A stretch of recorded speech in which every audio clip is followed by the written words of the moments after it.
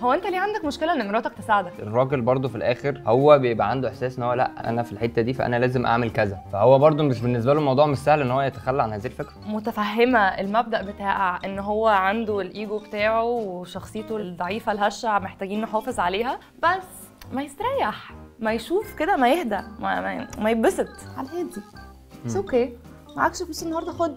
أنا معيش. اديني. عادي خد وهات يعني إحنا متجوزين فالمفروض بقى حب بقى وكده. لا أتفق في هذه النقطة.